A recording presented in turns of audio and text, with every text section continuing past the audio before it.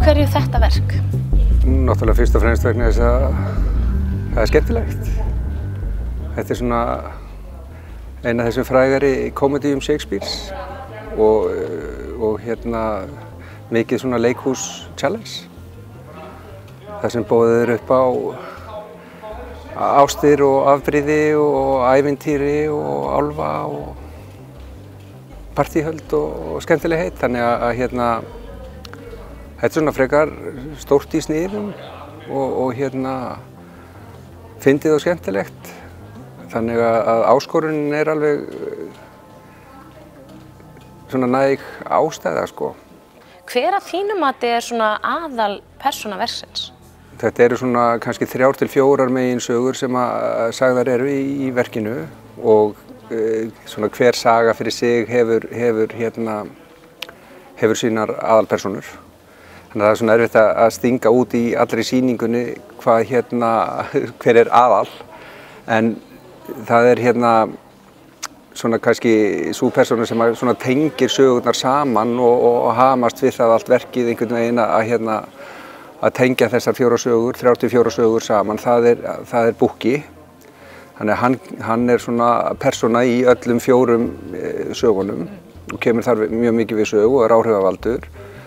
En svo er það þetta ungu pörinn og konungurinn og álva konungurinn og álva drottninginn og, og, og hérna svo er það náttúrulega starfsfólk hótelsins, þar sem við setjum þetta upp á, á hóteli, þá, þá hérna, er þar, þar er starfsfólk sem að hérna, þarf svo að leika leikrit í lokin sem að, sem að spilar stóra rullu líka. Sko. En hvernig kom það til að setja upp uh, verkið eins og hér á hóteli? Já, það er náttúrulega þegar að, að hérna, ákvörðunni tekinum að, að hérna, setja upp leiksýningu þá, þá uh, búum við til listrænt teimi mm.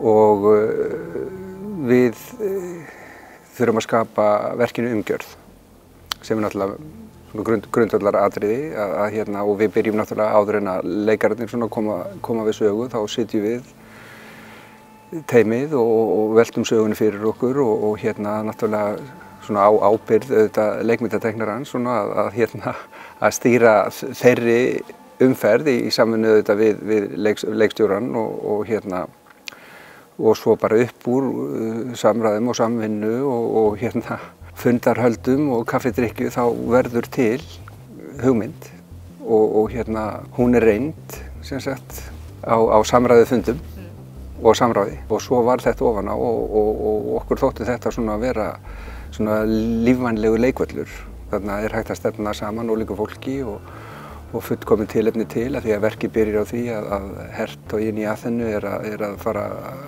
halda brúðköp þannig að persónu verksins eru annarkvort gestir eða í, í þeirri veistlu eða starfsfólk á hótelinu þannig að, að, að hérna, hótel heldur mjög vel utan á þessu sögu. Sko. Það var gaman að hérna, hafa stóra leikvöll og fullt af dóti til að leika með.